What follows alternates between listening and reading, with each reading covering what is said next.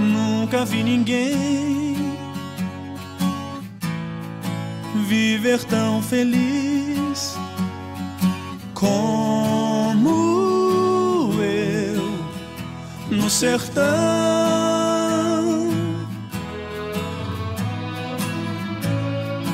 Perto de uma mata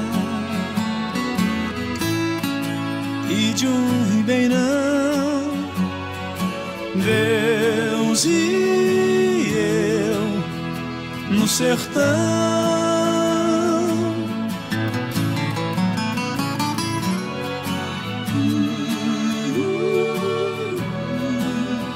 no sertão.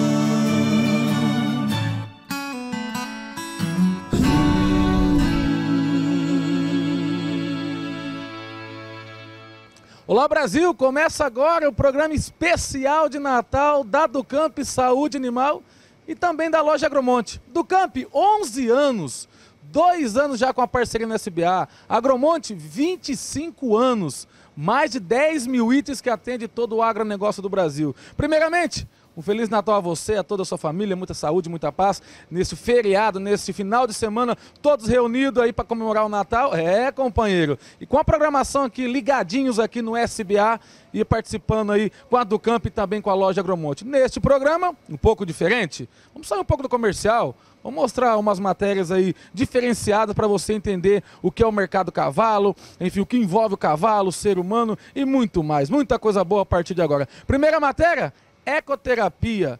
Jockey Clube de São José do Rio Preto. Conhece essa palavra? Ecoterapia?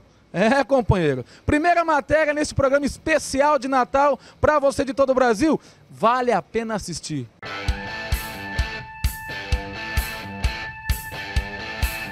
Bom, você sabe o que é ecoterapia ou hipoterapia?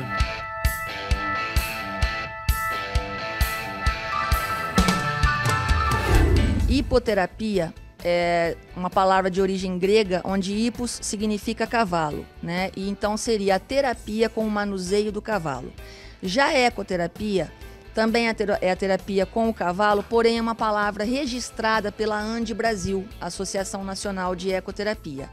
É, então se utiliza o cavalo como mediador dessa terapia.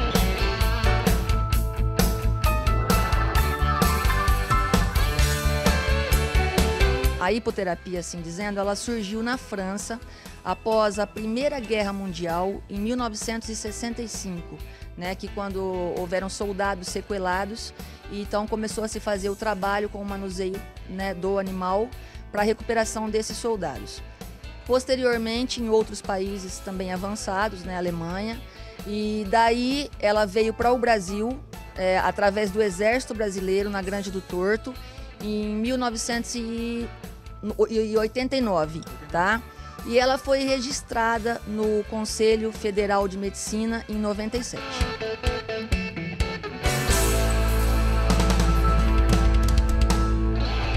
muita gente que às vezes acha né, que quem mexe com ecoterapia é ecoterapeuta, mas na verdade essa denominação não existe, tá? Existe os profissionais da área da saúde que são envolvidos nessa, nessa, nesse tipo de trabalho e que podem ser terapeutas ocupacionais, fisioterapeutas, fonoaudiólogos, psicólogos, tá? Mas não com essa denominação. Então o que você recebe é uma titulação né, sendo especialista ou mestre ou doutor em ecoterapia. Você está indo tratar de quem agora? Da colha. Da colha. A minha preferida. A colha, ela vai tratar da colha agora. Hum. Um trabalho que envolve toda a estrutura do ser humano no, no que se diz respeito à a, parte biopsicossocial. Que aqui não é chamado como paciente, tá? Vamos deixar isso claro também. Ele é um praticante né? Porque na verdade, enquanto você está sobre o dorso do cavalo, você participa da terapia. Né? Porque você tem que se contrair, você tem que é, tentar dominar o seu corpo, porque o cavalo não está parado. É lazer, é, é um trabalho físico, sim, motor, cognitivo, tá? Em todos os sentidos, sensitivo, é, trabalha-se também alterações comportamentais, né? Incluindo várias síndromes, tá? e a parte também de integração social.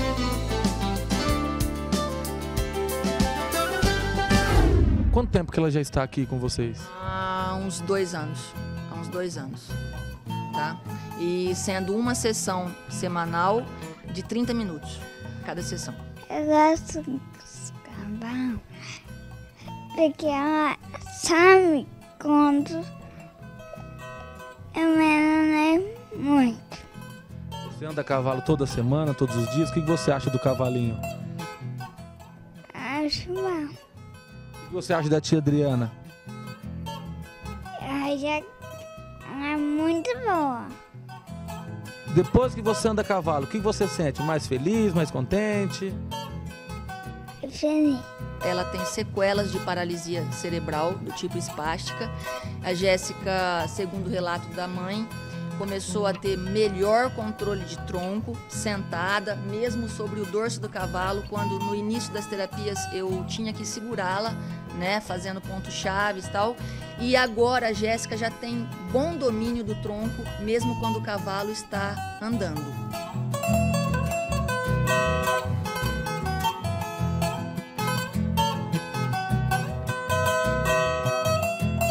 É, eu utilizo o método alemão, né, onde eu não faço a montaria dupla, tá? Isso às vezes de início com alguma criança, tá? Mas é, no decorrer, né, das terapias eu procuro descer e deixar que a criança tente se manter, que é, é esse o intuito, né? É fazer com que a criança responda, tá? Por meio do cavalo, ele sendo o mediador. Então, o cavalo, como eu disse para você anteriormente, ele está passando estímulos ao praticante que está sobre o dorso dele a todo momento. Então, fazer com que a criança responda a esses estímulos. Então, não faz sentido que eu ande fazendo montaria dupla com esse praticante. Jéssica, então chama o pessoal para andar a cavalo. Vamos lá andar?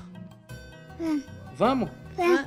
Ela vai fazer montaria simples, né? E eu só vou fazer a pega para que ela tente controlar o tronco, a cervical e os movimentos de membros superiores, assim como tentar assimilar a marcha que é semelhante à marcha do cavalo. Então ela vai tentar também receber esses estímulos de como se deve andar.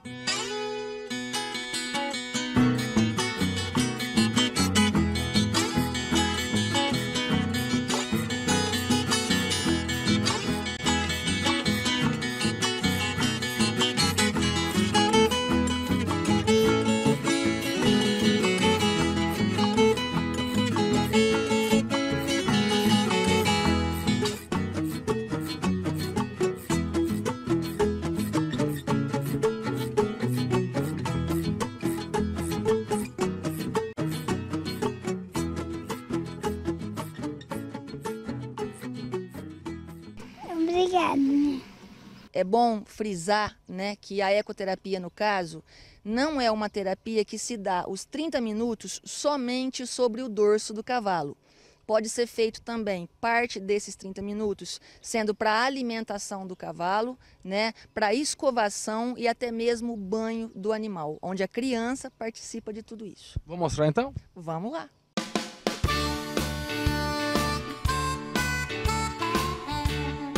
Vai vir aqui e vai tratar do cavalo. Isso para ela é muito importante para a autoestima dela.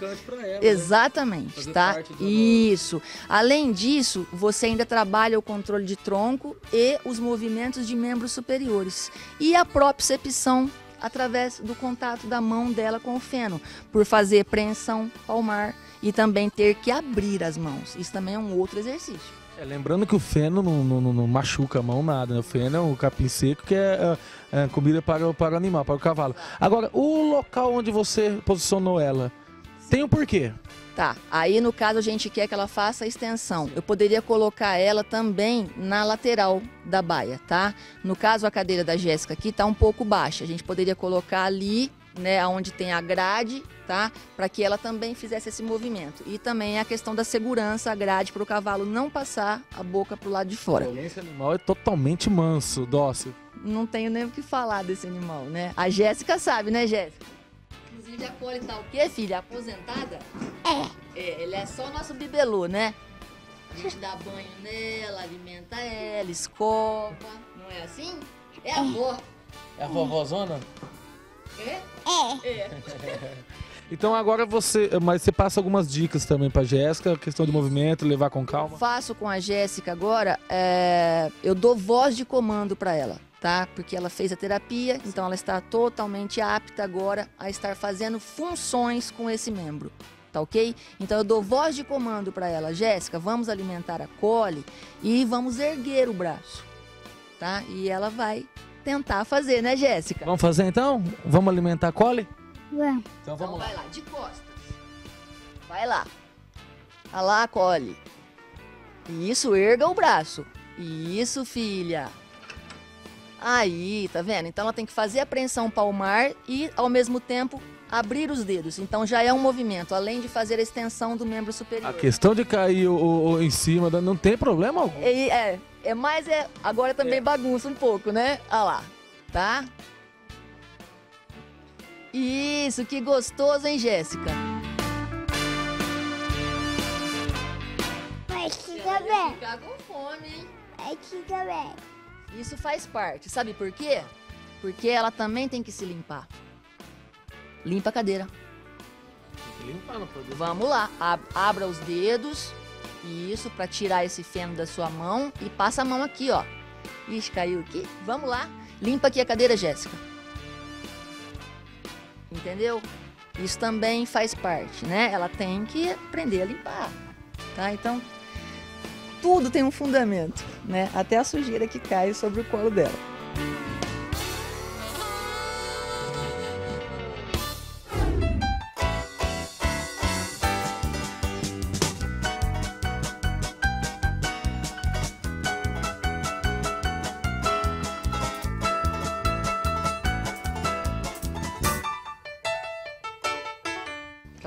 Tia Adriana. Aqui também a gente se suja, tudo faz parte. Aqui, ó, isso aqui é o pé da cenoura, não é? Vamos tirar esse daqui, ó. Vamos tentar arrancar esse. Pega lá, ó, abra a mão.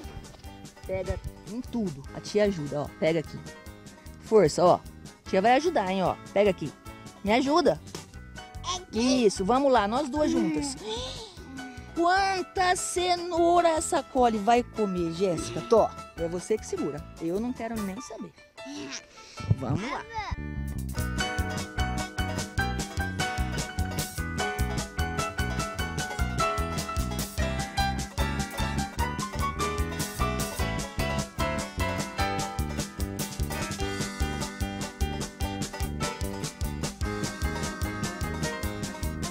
Cole, a Jéssica trouxe. Trouxe o quê? Fala A de novo. tua preferida. Então vai lá, serve pra ela. Ó, uma de cada vez, né, Jéssica? Deixa a tia ajudar você. Tó. Leva lá na boca dela. Você sabe como é.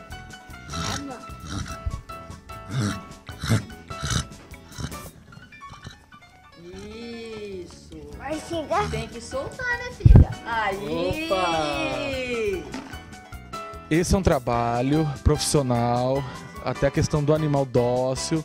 Não pode repetir isso em qualquer situação, qualquer local, no- em qualquer sítio, fazenda ou áreas, né? Não faça isso, né? Porque é um animal, Thiago. Você não sabe qual vai ser a reação dele. Todo animal reage frente a um estímulo.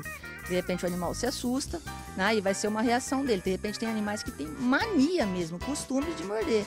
Então não é legal que se faça isso com qualquer criança. No seu caso aqui, já conhece bem o animal. Sim, sim, animal totalmente dócil e treinável para isso. Cada caso, cada criança é um caso. No caso da Jéssica, você já pode eh, trazer ela aqui e oferecer esse tipo de trabalho. Pode, com certeza, tá?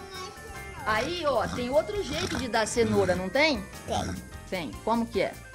Aí a gente trabalha outra Abre a posição, mão. tá?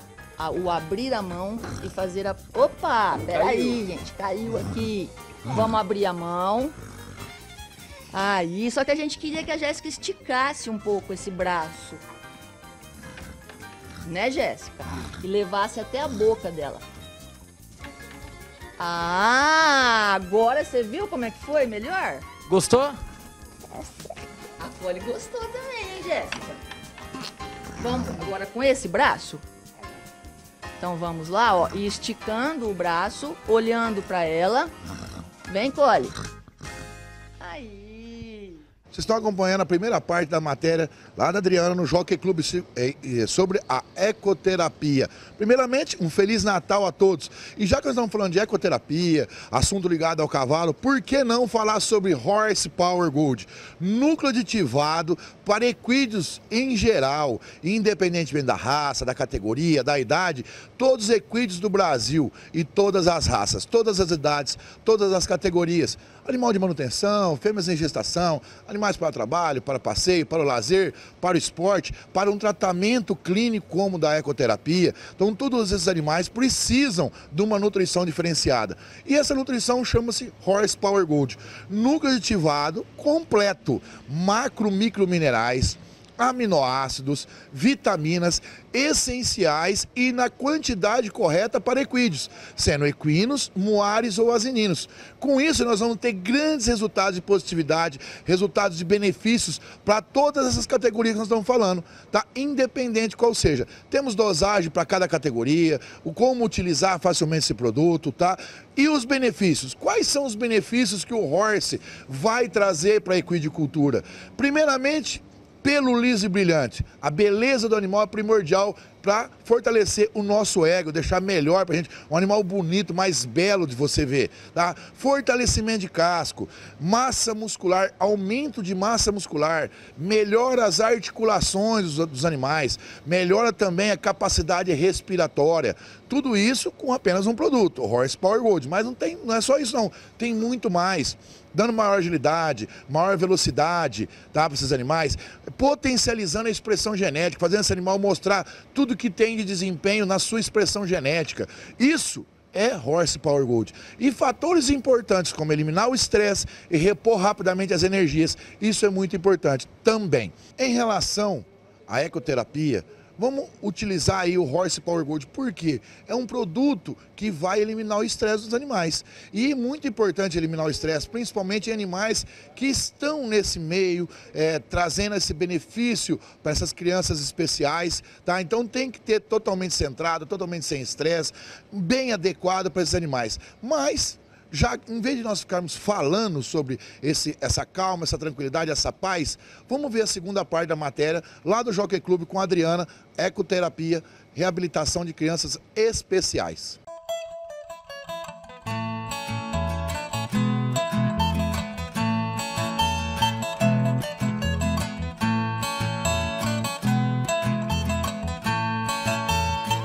É o seguinte: é fazer com que a criança aprenda que deva ter o quê? Uma sequência do banho, assim como em várias coisas que a gente pratica no nosso dia a dia, existe uma sequência. Então, no caso do banho, a criança, além de trabalhar a propriocepção, trabalhar os movimentos de membros superiores, controle de tronco, é, cuidar desse animal, né, que para ela a autoestima dela é muito grande com relação a isso. Você trabalha toda a parte de esfregação, né, da propriocepção em si, o que, que você vai fazer agora? Fala pro pessoal que tá em casa assistindo você. Vamos. Vai dar banho? É um banho. Todos é um cavalo que não morde. Não morde. Não faz nada. Eu só dá a comida, ele acalma, ele minha, a criança não assusta, né? Porque cada cavalo tem um jeito. Mas a, essa meu já foi andada comigo. E igual meu Ela é amiga sua? É. E a Adriana ficou tanto com ela, tanto comigo.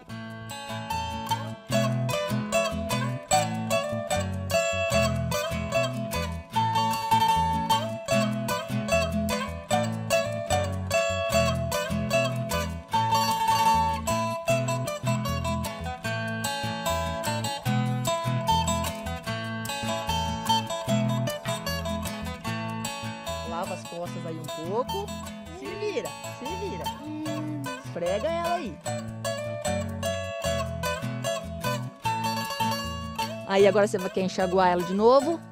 Então vai, pega a borracha aí. Vamos lá, força. Para erguer a borracha. Olha lá, te ajuda. Você entra para tomar um banho, a criança tem que saber como é essa ordem. Então você se molha, aí você se ensaboa, você se esfrega, você lava a cabeça, aí você se enxagoa e se enxuga, vai pentear o cabelo. Então essa sequência feita com a criança né, é para mostrar que existe uma ordem a ser seguida. Então, para ela, quando ela chega em casa, ela pode tentar tomar banho sozinha e ela sabe a ordem. Entendeu? Ninguém vai chegar lá, pegar o sabonete seco, se passar no corpo tal. Então, eles vão estabelecendo isso também.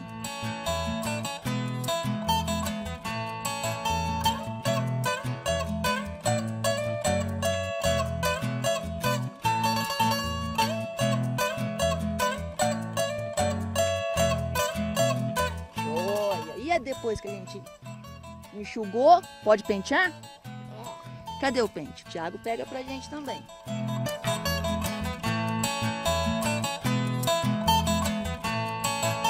Isso, É Jéssica. embaraçado. É o quê? É embaraçado. Tá embaraçado o cabelo. Tá, mas você não passou creme? Estica mais o braço até lá em cima. Isso aí. Tá embaraçado. Tá embaraçado? Eu vou ajudar, ó.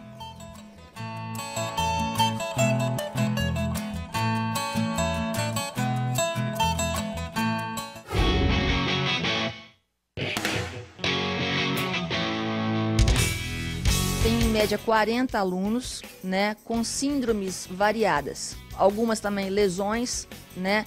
Então podem ser lesões de coluna, né, de, de medula, é, muitas crianças com paralisia cerebral e síndromes é, tipo Down, autismo, tá? Então envolve muitas síndromes. É tudo muito bem embasado teoricamente, cientificamente falando, tá?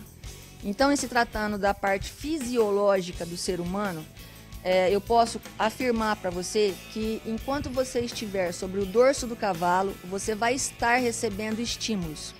E esses estímulos são enviados via medula ao teu sistema nervoso central, retornando em forma de resposta. Por isso que eu estou falando para você, nós, enquanto fisioterapeutas, terapeutas ocupacionais, psicólogos, devemos ter sim muito conhecimento teórico, né, de como atender esse praticante sobre o dorso do cavalo, porque envolve é, além desse estímulo-resposta, no que eu vou objetivar com aquela criança, tá? Com aquele ser humano que eu vou estar tratando. É, por outro lado, também se deve ter conhecimento sobre a parte hormonal e dos neurotransmissores, tá? Porque só de você se aproximar de um animal já existe todo um desencadeamento de, dessa parte hormonal e de neurotransmissores. Então, saber como lidar com isso durante uma terapia. E a parte da relação homem-animal, no caso o cavalo, é, torna-se assim notório, né, uma criança com alterações comportamentais no caso, e você tem muita, é, você desencadeia muito um hormônio que chama-se ocitocina, né? Isso é o contato pele do praticante com o animal, tá? Por isso que também esse animal tem que ser muito doce, né? Tem que ser um animal manso, sem manias agressivas, tá? Porque isso é passado também ao, ao praticante, né? Então, esse hormônio faz com que essa criança se acalme e compartilhe mais a sua vida social, na escola, com a família. Primeira pergunta, né? Quanto tempo, quantas sessões meu filho vai ter que fazer para ficar bem? E você sabe, isso é só Deus para responder. Mas eu tô aqui para falar para você e para todo mundo que está assistindo a gente que sem sombra de dúvidas, tá? A ecoterapia é uma terapia assim que traz efeitos é, biopsicossociais para os praticantes de imediato. É uma terapia muito rápida, com resultados satisfatórios, bem assim, a curto prazo. Jéssica, é, o que, que você sente agora de estar sentada no chão, muitas vezes sem ter o encosto da cadeira? Você notou que você melhorou para segurar o tronco? Sim. Sim. Tá. E lá na escola, como é que é? Fez mais amigos? Sim. É? Como chama os cavalos daqui? É. É mesmo. A mel, a mel. E é legal andar na mel, Jéssica? É. É? É macio. Ah, é macio.